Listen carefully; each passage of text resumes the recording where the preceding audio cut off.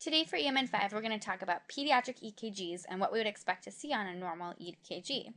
And what I want you to think during all of this is RV dominant. That's because the babies, when they're in utero, they tend to have this high resistance pulmonary circulation. And this creates a really thick, larger RV and ends up resulting in the EKG changes that we see. So, RV dominant. So, we're going to have a right axis, large R waves in V1 through V3, the right precordial leads, and T wave inversions in V1 through 3 that actually last a little later into life. Kids also are going to have a faster heart rate and shorter intervals. Lastly, you might see some other changes like RSR prime in V1 and Q waves inferiorly and laterally. Okay, so let's start off talking about axis.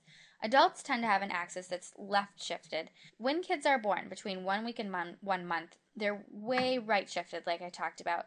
So they're going to even go over to 180, for example, averaging right around 110.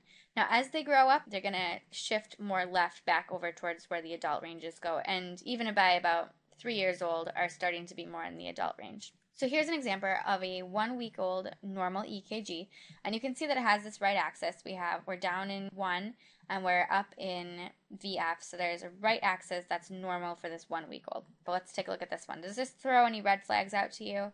We're isoelectric in one, and we're actually down in VF. So this seems like it's a left axis, and sure enough, this is the axis of negative 87.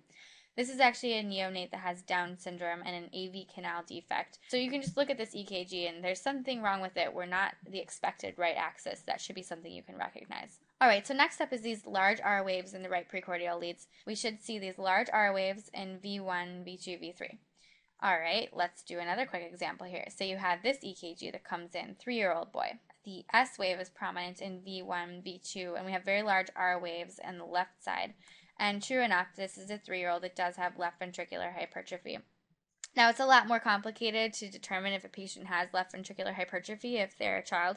There's some different equations you're going to have to do, but my goal here is just to tell you red flags to look out for that will prompt you to do more of a workup. Okay, next let's look at these T wave inversions. We all expect adults should have upright T waves in V1 through V3, right? If they're not, we're concerned for ischemia. However, in kids, you're actually going to expect T wave inversion in V1 through V3.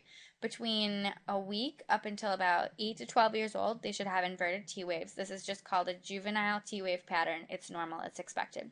One interesting thing here is actually in the first week of life, you might see an upright T wave. Let's look at a couple examples. This is a three day old. Here's V1 and V2. So we have upright T waves in V1, V2. Now this is a week old. We have T wave inversion in V1, V2. Here's a four year old, so this is inverted throughout. And finally, when we're a teenager, it's starting to flip back up Okay, so next we have the, the heart rate and the interval. So we know that heart rates are faster in children, but even with that faster heart rate, we see interval shortening. So in PR, in adults, we should expect less than 200 is normal. In infants, almost down to 80, so it's a lot shorter. In adolescents, they're starting to get more into the adult range, 140 to 180. Your rule here is basically an over 140 in infants and toddlers, you'd be thinking that that's abnormal. Now, the QRS in adults, we're expecting less than 120 for a narrow complex, and you can see that in neonates it's quite a bit shorter, 70 to 80, and by the time they're teenagers, they're getting a little bit more up to the adult range. Okay, let's see what we've learned here. So we have a five week old, previously healthy, born term baby coming in with dad, saying that they're having some mild respiratory distress. No other history. Let's take a look at an EKG and see if this throws any red flags out here for us. So let's go through our expected changes. So we expected right axis. Let's take a look here. So we're upright in one and we're about even in AVF. Hmm, so we're not really seeing that right axis deviation.